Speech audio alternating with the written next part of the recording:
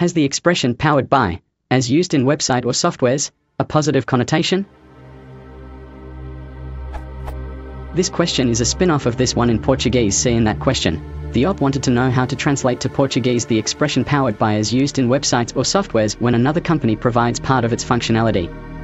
Personally, as a foreigner learning English, powered by seems to me as a positive way to say that, for instance, company XYZ is providing web hosting or the search engine for my website. It sounds to me like the website is proud to have such company offer me its services. I would like to know if native English speakers feel the same way or powered by sounds like a neutral way to say the same thing.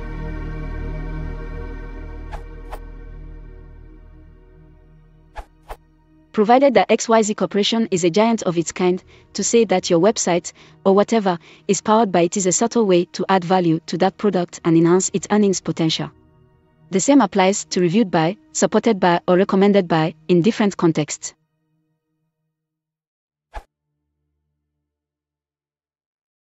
If you want to support the channel, please consider liking and subscribing.